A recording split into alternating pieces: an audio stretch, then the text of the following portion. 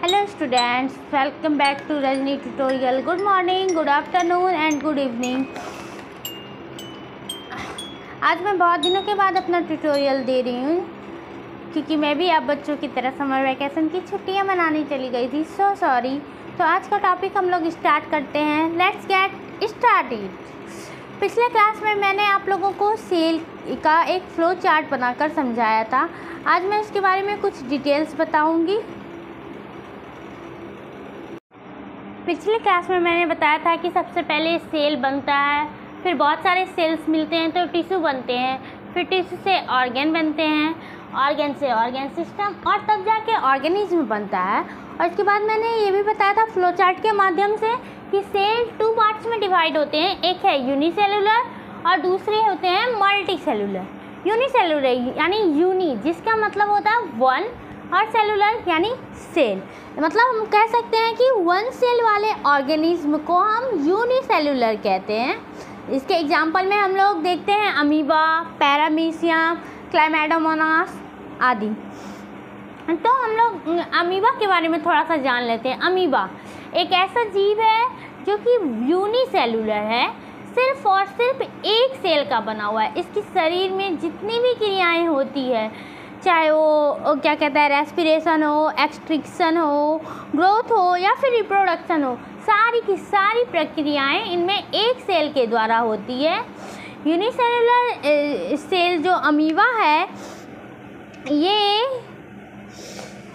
Pseudopodia ये जो इसका बाहरी लेयर है, इसकी हेल्प से ये इधर उधर मूव करता है, भोजन का ग्रहण करता है, और अपने शरीर से अपशिष्ट पदार्थ को बाहर भी ये इसी छिद्र के द्वारा निकालता है।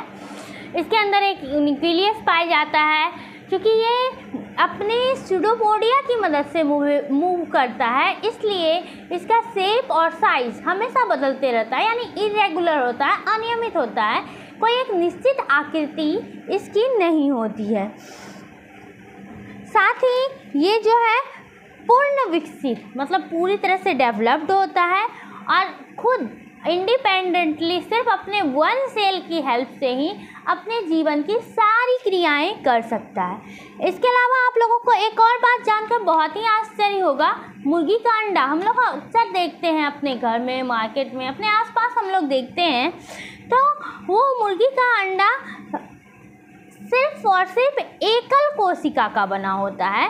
जिसे हम बिना माइक्रोस्कोप के देख सकते हैं, जबकि अमीबा, ये भी यूनिसेलुलर है, लेकिन इसको हम माइक्रोस्कोप के बिना नहीं देख सकते। बट अंडा, ये भी एक एकल कोशिका का बना हुआ है, किंतु हम इसको माइक्रोस्कोप की हेल्प से देख सकते हैं। मैंने अपने शॉर्ट ट्यूटोरियल में आप लोगों को बताया था कि जब हम अंडे को बॉयल करते हैं, और उसके ऊपर का जो बाहरी लेयर वाइट कवरिंग होता है, जिसको छिलका हम लोग बोलते हैं अंडे का, उबालने के बाद उस छिलके को हटाकर फेंक देते हैं उसके बाद जो वाइट लेयर गुदा वाला होता है, उसको हम लोग एल्ब्यूमिन कहते हैं और उसके अंदर जो गोल जैसा येलो कलर का होता है, उसको जॉक कहते हैं।